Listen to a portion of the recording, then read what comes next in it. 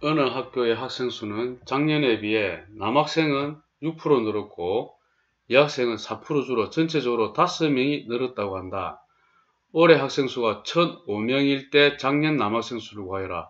올해 학생 수가 1005명이니까 5명 늘은 거잖아요. 늘어갖고 1005명 됐잖아요. 작년에 학생 수는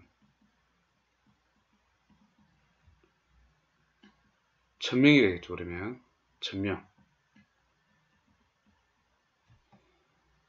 자, 작년에 남학생 수 X명, 작년에 여학생 수를 Y명이라 합시다.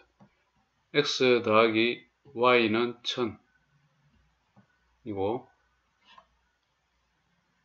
자, 어, 늘어난 비율, 어, 비율은 보니까 늘어난 양만 따지면 됩니다. 남학생 6% 늘어났으니까 100분의 6x 이렇게 주면 되고 여학생은 줄었잖아. 100분의 4y 줄여서 5명이 늘었다 이렇게 되죠.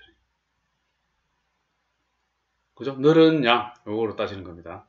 자 이렇게 되고 여기에 100을 곱하게 되면 6x-4y는 500이 되죠. 2로 나누게 되면 3x-2y는 250이 됩니다. 자, 이게 곱하기 2를 합시다.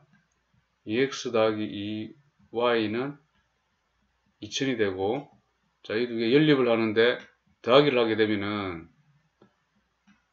5x가 되죠. y 사라지고 2250 2250이 되고 양변을 5로 나누면 5, 40, 5, 20 작년의 남학생 수는 어, 바로 450명이 되죠.